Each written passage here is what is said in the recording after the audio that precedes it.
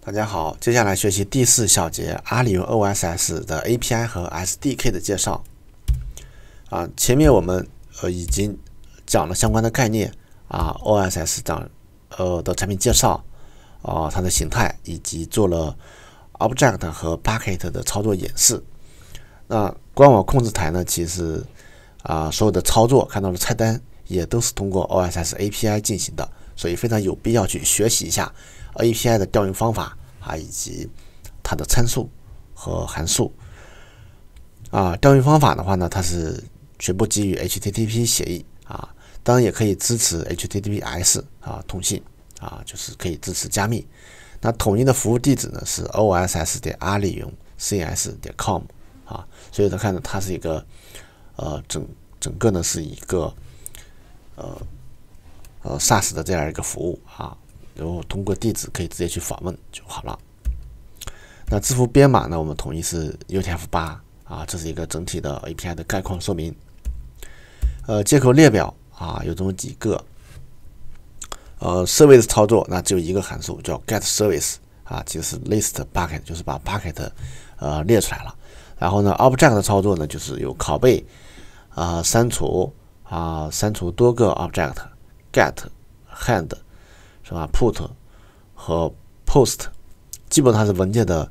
呃增删改查啊。啊，没有没有改，没有 modify，看到吗？没有 modify，就它不允许去修改啊，直接去 delete，然后再去呃上传叫 put 啊，或者是 post，也可以拷贝啊，不支持修改。bucket 的操作，那可以列出删除 bucket 啊，删除 bucket 的日志啊，删除 bucket 的这几个里面的网站啊，相关的权限的设置 ASL 啊，修改权限啊，设置权限。啊，这是 bucket 的相关的函数名，然后还有跨域资源的一个操作。啊，跨域资源什么概念？就是说，尤其浏览器的一些限制啊，还有一些我们我们做一些安全的一些一些控制，比如说一个域名下面当前在在操作啊，在在访问。那如果这个时候我调用另外一个资源或调用一张图片是另外一个域名下的话，一般情况下浏览器会有一些警告啊，或者是我们。资源端会有一些限制啊，不允许。那如果我们呃主主动做了设置的话呢，会会避免这个问题。还有一些错误的响应码啊，响应码就是说哪些参数不支持呀，哪些呃操作是错误的啊，都可以在呃错误参数码里面可以看到啊。然后最后一个是比较复杂的，就是叫呃分段上传啊，multi part，就是就是可以把文件拆成。多个部分，然后去上传，它有有初始化，有开始上传，那么可以上传拷贝啊，完成上传，可以终止上传，也可以去啊列出我上传的部分啊，比如说我有一个呃两 T 的一个大文件啊，这时候如果用 put 或者是 post，基本上是无法完成的啊，它超过五 G 就不让上传了，那我只需把它切成段儿，切成比如说五百兆或者是。呃，或者一个 G 啊，一个一个文件一段，然后去切成很多段去上传啊，这样就可以完成啊。那这个函数呢，大概简单了解一下就可以。那真正去呃实现的时候啊，可能不需要去直接对 API 操作，我们都有很多的 SDK。那看一下一个 API 的具体的使用的案例啊，比如说我就普通一个上传文件，它这么请求的啊，啊，看上去代码有点多啊，就是 put 啊，这个 OS 点呃。GPG 这个文件啊，然后 HTTP 协议 host 完整的 host name 啊，嗯，然后这是一个 HTTP request 一个语法啊，长度，然后这是认证啊，然后这是整个的这个呃这个文件名啊，它需要去把这个东西 put 啊 put 上去，然后后面的是我们的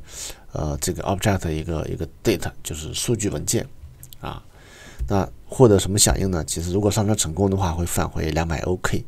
然后会产生一个 request ID 啊，然后会打一个呃列子一个标签，然后表示是唯一的请求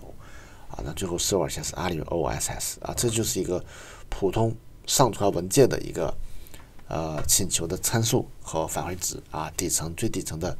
HTTP 报文可以说嗯。那真正使用的时候呢，不需要去这样做啊。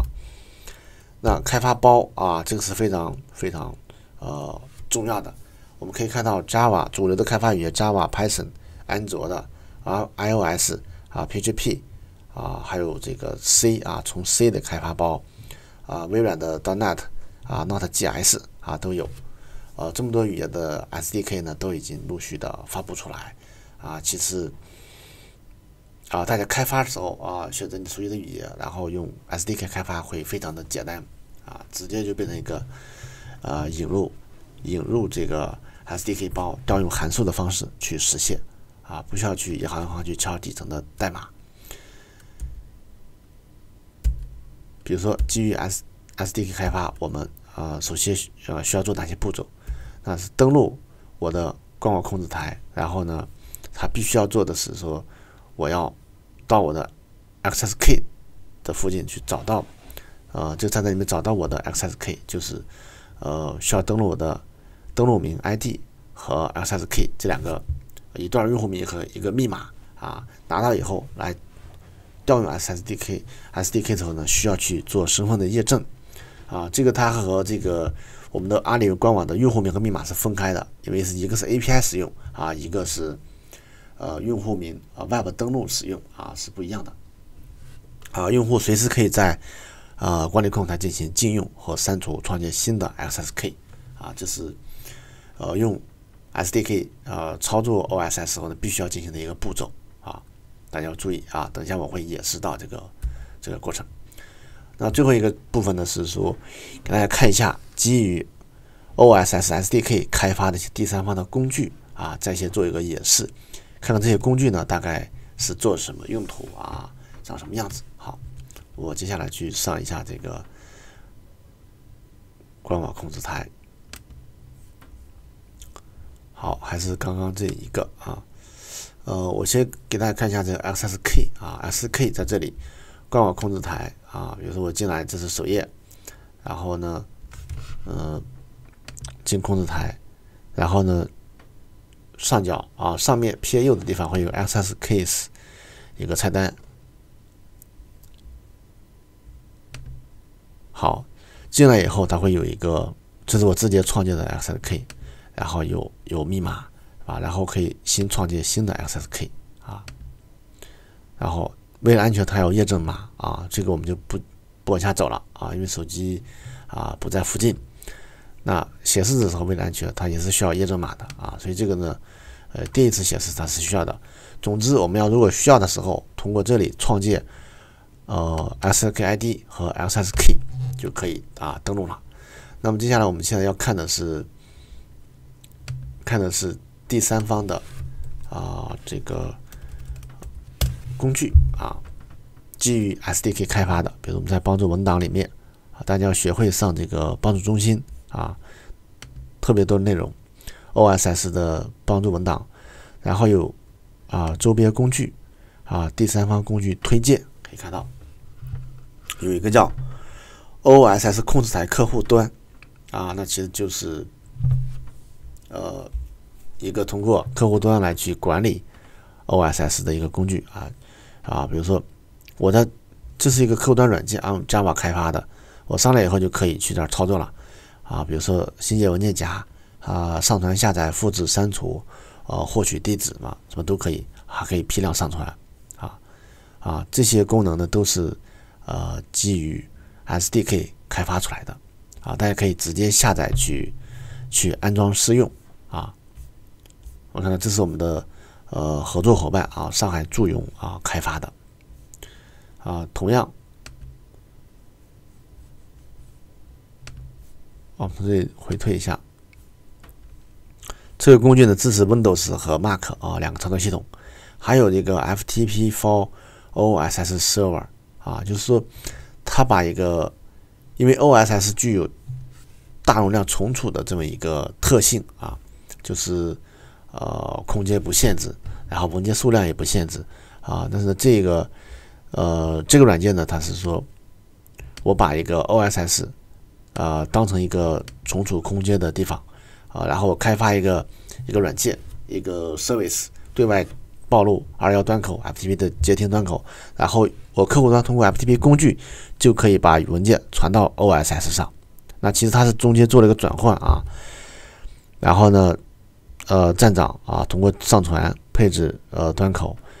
然后呢这个用 FTP 云工具呢会自动转换呃这个操作，把它放到 OSS 啊，是一个非常方便的一个方法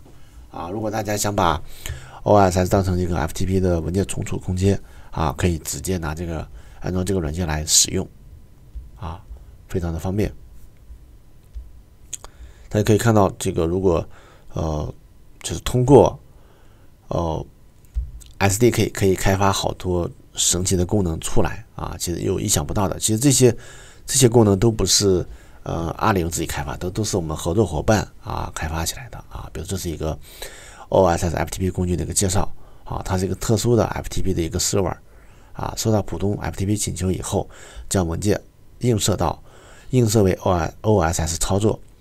啊，最后来管理 OSS 的文件夹啊，可以看到在这里安装完以后做配置，配置完保存，最后我们在普通的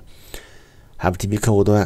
啊，然后去去使用啊，就可以登到我们的服务器上啊，然后可以上传文件啊，这是一个呃非常好的一个 SDK 的一个案例啊，当然还有很多的操作了啊啊，比如说 OSS 这个 command 啊工具。那是通过命令行啊命命令行来去呃使用我们的呃 OSS 的啊，通过命令行来上传文件啊，创建 bucket 啊，然后上传文件啊，删除文件啊都可以啊。好，这就是一个呃整个呃 OSS API 和 SDK 这个小章节的一个介绍啊，最后进行了一个工具的一个一个展示和说明。好，本节内容呢。呃，讲解到这里啊，谢谢观看。